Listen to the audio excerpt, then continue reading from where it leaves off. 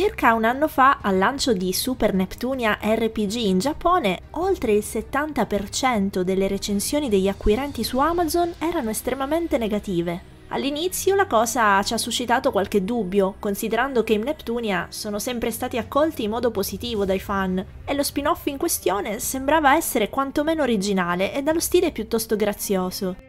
Poi ho notato che lo sviluppatore non era Compile Art, ma Artisan Studios, team canadese alla sua prima esperienza nel mondo del gaming. E allora sì, abbiamo ben immaginato i motivi della furia degli utenti giapponesi. Oggi, con il gioco finalmente disponibile in Europa, possiamo unirci anche noi al coro di dissenso, dopo un'esperienza non proprio piacevole in fase di recensione. Ciao ragazzi, io sono Luna, la recensione di Super Neptunia RPG è stata scritta da Zeusexy per nrsgamers.it ed è basata sulla versione PC Windows del gioco. Pur non essendo mai stata una grande fan della serie Neptunia, ne ho spesso sentito parlare molto bene dagli appassionati e di recente mi sono avvicinata ai titoli presenti su Steam, scoprendo, devo dire, degli ottimi JRPG. Sono titoli molto di nicchia, costellati di fanservice e talora complessi, dunque non proprio alla portata di tutti. Super Neptunia RPG sembrava andare in controtendenza, offrendo una formula semplice, lineare e fresca. Tutto ciò almeno in apparenza. La storia parte con un sentore di già visto, ovvero dalla solita amnesia della protagonista Neptune, catapultata stavolta in una versione 2D medievale del mondo Game Industry, Qui regna un'organizzazione chiamata Bombix Mori che obbliga la gente a pagare le tasse in giochi bidimensionali, relegando tutti a una vita a scorrimento. Neptune e le compagne, anch'esse affette da amnesia, dovranno quindi trovare un modo per debellare i cattivoni e tornare al 3D. Il cast, come di consueto, si presenta variegato e composto da personaggi simpatici, caratteristici, insomma, belli da vedere c'è una discreta attenzione ai dialoghi, doppiati sia in giapponese che in inglese e di buona qualità, specialmente nelle interazioni tra le protagoniste.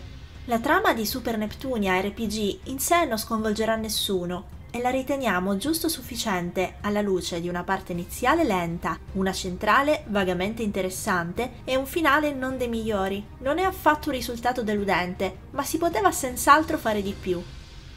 A livello strutturale ci troviamo di fronte a un RPG classico, dove abbiamo la possibilità di esplorare, parlare con gli NPC e svolgere missioni secondarie per poi ottenere ricompense.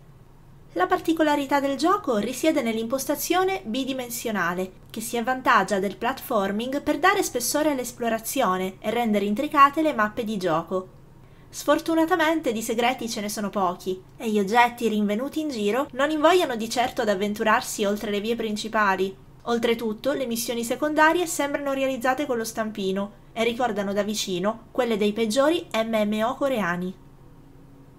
Andiamo ancora più in basso, parlando del sistema di combattimento, il peggiore visto finora in un gioco Neptunia. Il riempimento di una barra decreta il numero di attacchi eseguibili dalla nostra squadra, mentre il personaggio schierato in avanguardia stabilisce la tipologia di attacco, senza limiti di sorta. Il nemico si limita a colpirci periodicamente e non esiste la possibilità di evitare o bloccare i danni. Si tratta sostanzialmente di button mashing all'ennesima potenza, peraltro privo di bilanciamento in quanto schierando un healer in prima fila si può benissimo spammare cure a ripetizione e rendere così ridicolo qualsiasi scontro. Per non parlare poi dei numerosi bug e glitch che compromettono l'esperienza sia su Switch che su PS4. I cali di frame sono all'ordine del giorno, tant'è che in certe aree sembra di muoversi a rallentatore, e dei teorici 60 fps neanche l'ombra. Poi freeze, blocchi della protagonista sul posto, problemi di controlli nelle fasi platform e tanto altro da risolvere tramite patch al più presto. È passato più di un anno dall'uscita in Giappone e ci chiediamo come sia possibile che il gioco sia ancora in queste condizioni. Mistero canadese.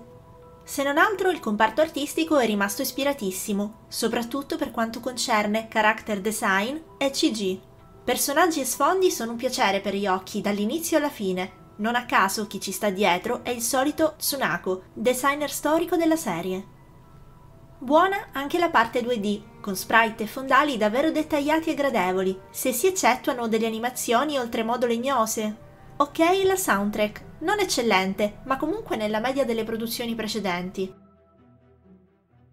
Non avremmo mai pensato di bocciare Neptunia, ma è anche vero che qui non stiamo parlando di farina del sacco di compile art.